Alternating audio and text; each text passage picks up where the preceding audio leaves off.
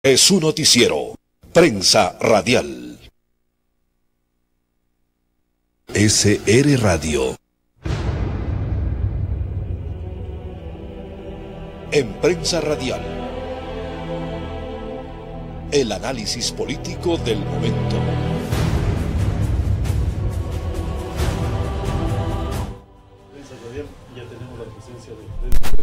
Carlos Lazo y también el doctor René Lituma ¿Con quién haremos información? Ayer el presidente de la República dijo también sobre el tema de la minga agropecuaria en su discurso de posesión. No sé si tenemos ya el discurso. Sí, vamos a observar lo que decía el presidente de la República.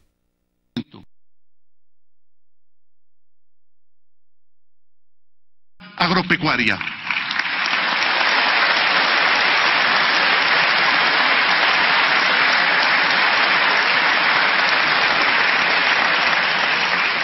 Reforzaremos el objetivo de, regresar. Aquí en Renova, chatarrizaremos las herramientas de nuestros agricultores, las cambiaremos por nuevas para que puedan producir más y mejor. Facilitaremos créditos para equipos y maquinaria en las mejores condiciones para nuestros campesinos y para los medianos y grandes productores. Crearemos escuelas de excelencia cercanas a las comunidades para que los niños no tengan que caminar tanto, que no lleguen cansados. Bien, esta era parte del discurso del presidente de la República, Freddy. Buenos días, bienvenido. Y también a Carlos, bienvenido. Bueno, si el presidente habla de la minga agropecuaria y de cambiar las herramientas antiguas de los eh, campesinos y agricultores, ¿eso significa una direccionalidad diferente políticamente? Desde el discurso, claro que sí. En ese momento se tiene, se tiene clarísimo. La visión del nuevo presidente pues está, está mostrando una predisposición hacia la agricultura, lo que no ocurrió en, en, en el gobierno anterior no se habló tanto, no se priorizó tanto la agricultura. Ahora se habla ya de priorizar la agricultura, de visibilizar a los agricultores, de entrar con crédito asequible, de entrar con mecanización agrícola, de lo que se acaba de entender, chatarrización de herramientas viejas en agricultura.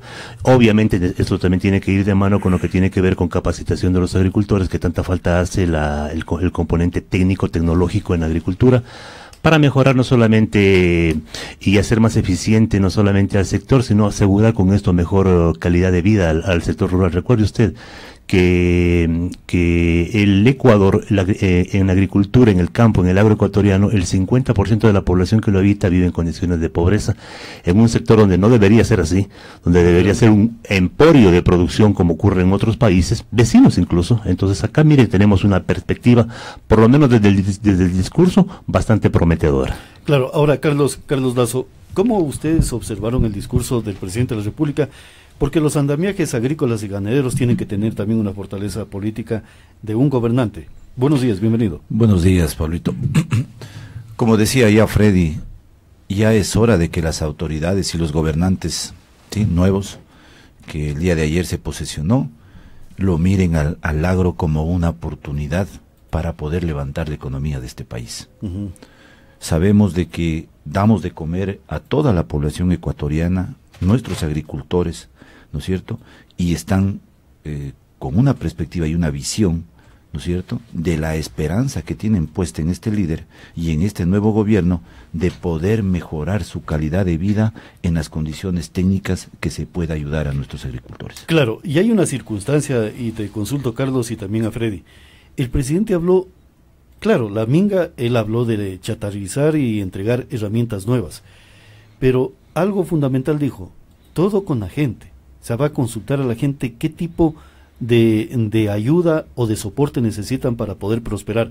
Eso significa que ustedes como profesionales también deben de dar información para que pueda ser receptada por el presidente de la República. Por supuesto, y es justamente lo que vamos a hacer esta mañana. Hemos traído un pequeño compendio de algunos datos importantes para poder aportar con, eh, con datos reales, con eh, datos económicos de lo que es la parte agropecuaria, sobre todo para la provincia nuestra, para la provincia de Loja, que también tiene un amplio por, eh, porcentaje de gente que, que trabaja y que sostiene a, la provincia y que también es recordar que nosotros somos unos grandes consumidores por excelencia acá en nuestra provincia de productos alimenticios, los cuales no necesariamente se producen en Loja, pero que se los consume a diario. Entonces eso también es salida de, de recursos. Si recordamos, hacemos la comparación con el país, el país pues siempre evita que los dólares salgan eh, para que se sostenga la dolarización, pero acá en Loja nos podemos dar cuenta que de lo que consumimos, el 80% prácticamente de este dinero sale hacia las provincias vecinas. Por darle un ejemplo, por ejemplo, en lo que tiene que ver a consumo de huevos en, en, en la provincia de Loja, el 90%, el 90% de, de, de este rubro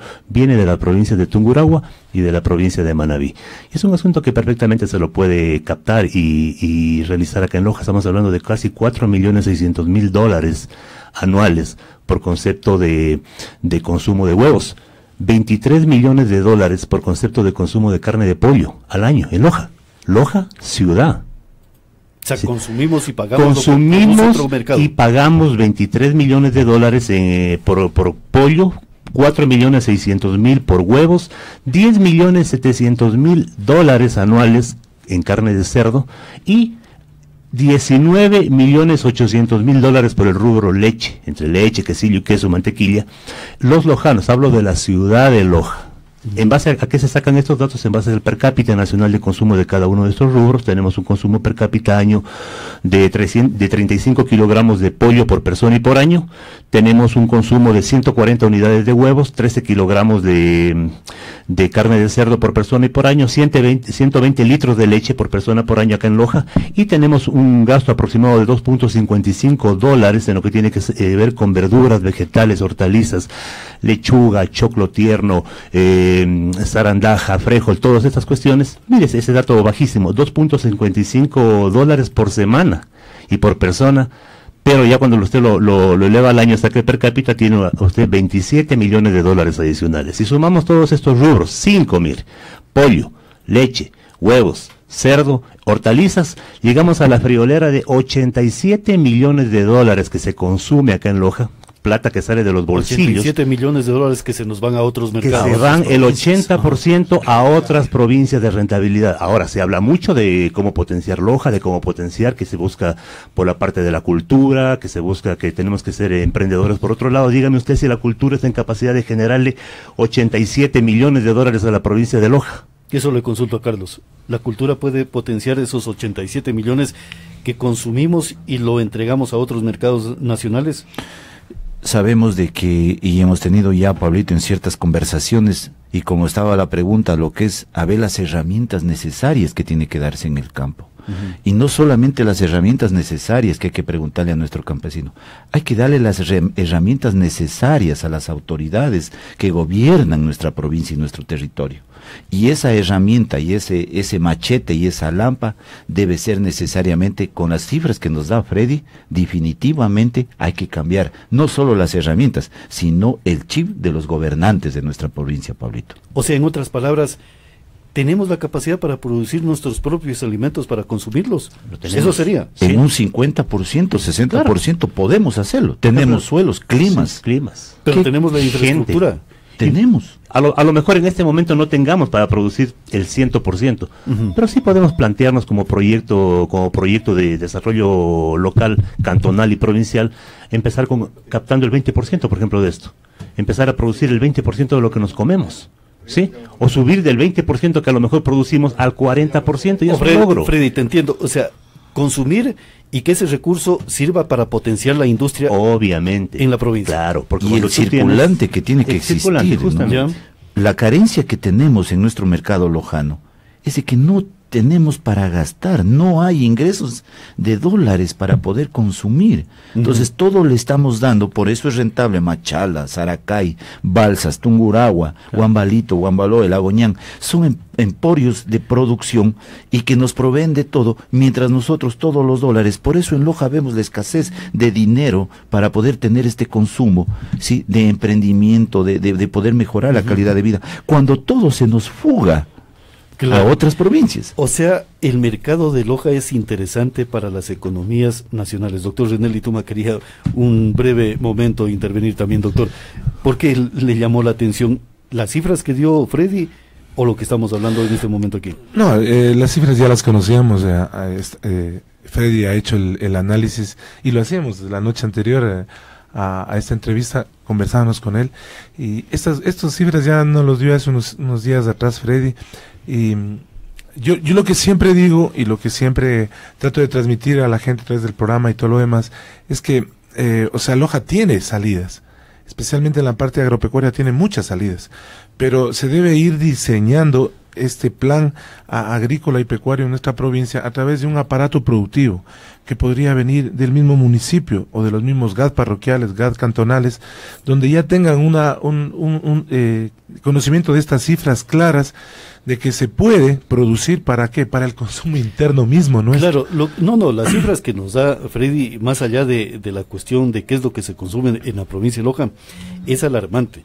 Estamos hablando cerca de 100 millones de dólares que generaría una cantidad significativa de fuentes de trabajo. Pablo solo le tocó cinco rubros. Cinco hay, rubros. hay más. más cosas. Hay, mucho más en la parte eh, industrial, en la parte agrícola y pecuaria industrial. Pueden venir muchas otras cosas más.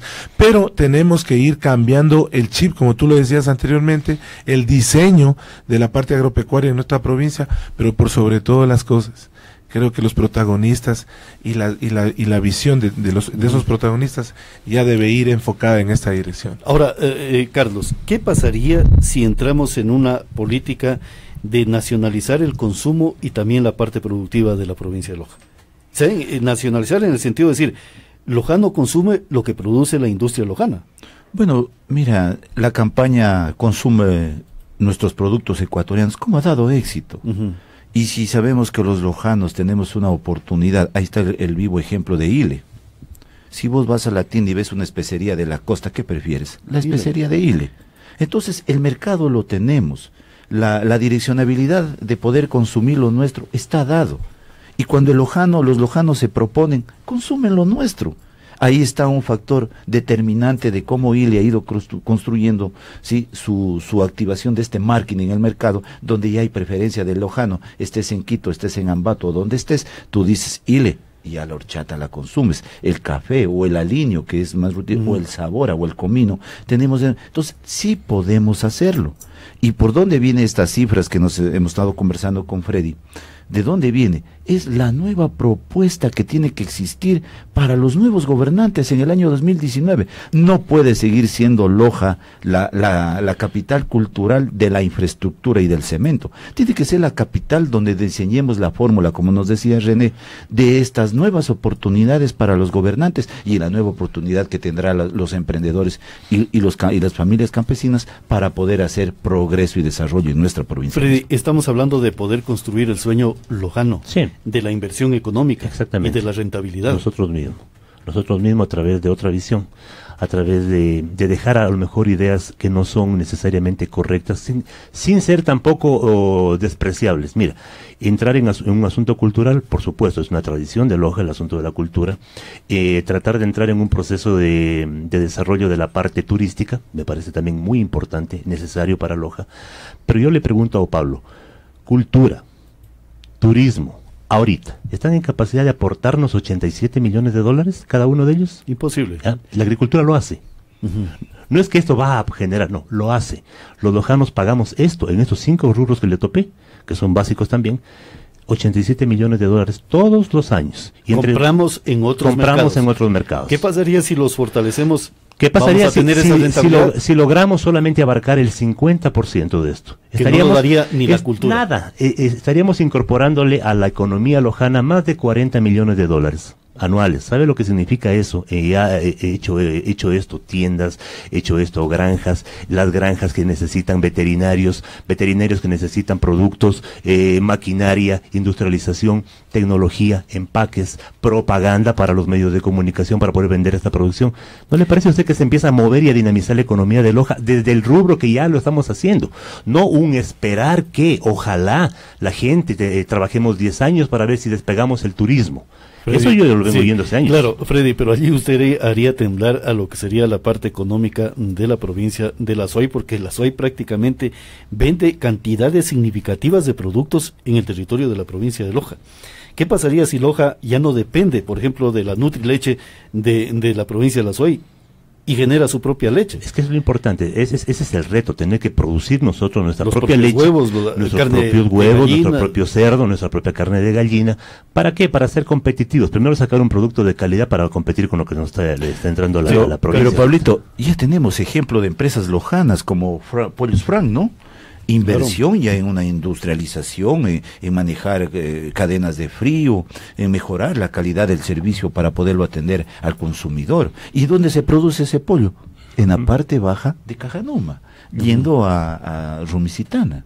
¿sí? Ya. Entonces, ya tenemos en algunos ciertos valles, Catamayo, el señor Serrano, ¿sí? Un gran eh, avicultor de muchos años, yo creo que iba a cumplir 30 años produciendo, ¿sí? Pollo de carne, ¿sí? Por ejemplo, ya topando el tema de pollo estrictamente, eh, si vamos a Camales, que yo trabajo en Camal, eh, le, le puedo, le puedo hablar de esto. De los cinco camales avícolas grandes que tiene la ciudad de Loja, eh, uno, uno de estos faena su propia producción, que es justamente Pollos Frank, y cubre cerca del 50% de la demanda. Los otros cuatro camales le cubren el otro 50% de la demanda y eso viene del, de balsa, De viene del oro. Entonces en avicultura sí se puede. Miren, en avicultura ya la empresa privada, los empresarios lojanos lograron llegar al 50%. En el resto es lo que estamos caídos. Claro. En el resto. Ahora, Pero ¿por sí. dónde viene, Pablito, esto? O sea, ¿por qué tenemos estas cifras?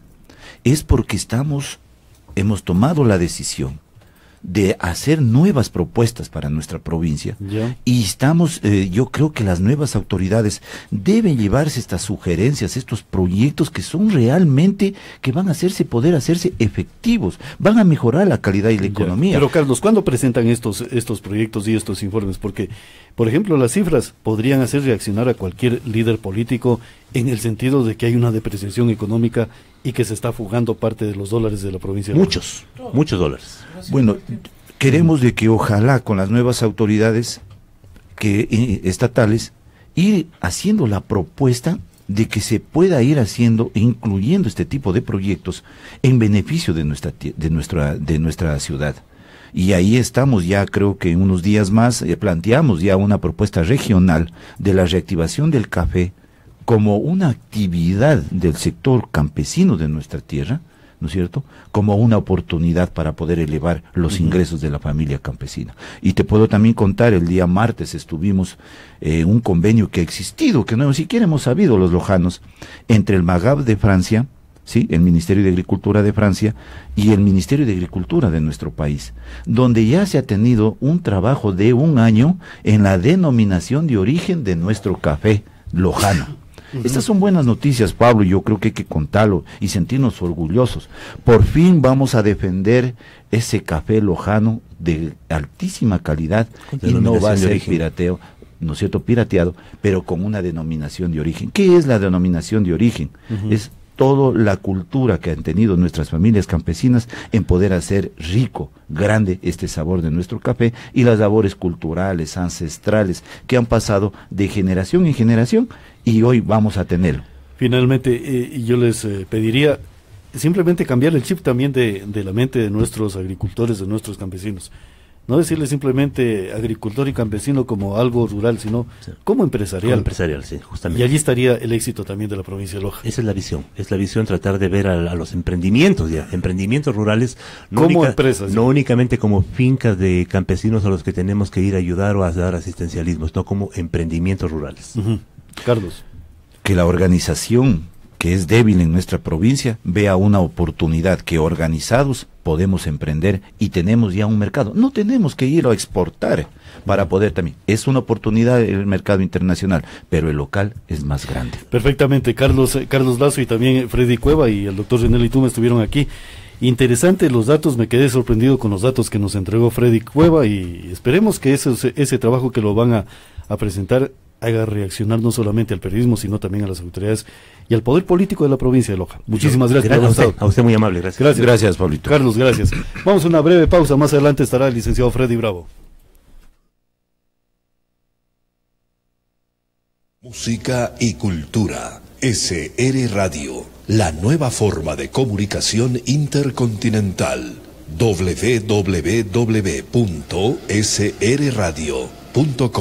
www.srradio.com.es